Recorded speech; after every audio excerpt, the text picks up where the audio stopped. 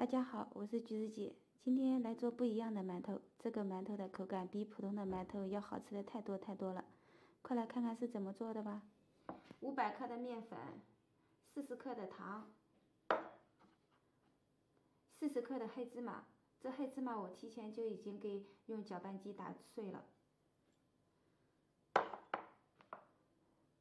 五克酵母粉，酵母粉放在温水里面给它化开。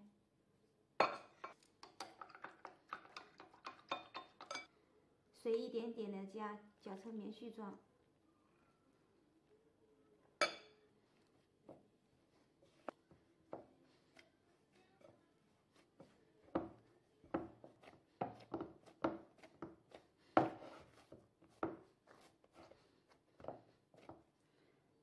把和好的面盖上，醒发三到四个小时。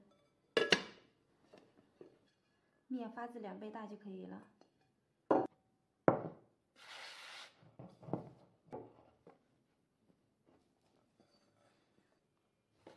把发好的面揉一下，排一下气。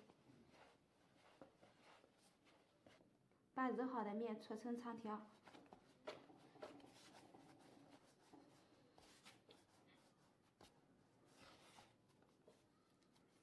分成大小均匀的小剂子。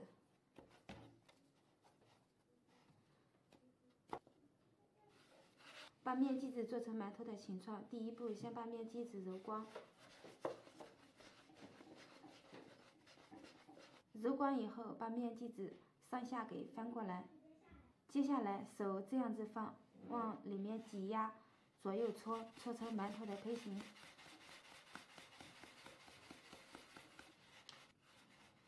好了，把做好的馒头放在温水锅里，再次醒发一个小时，就可以开大火蒸了。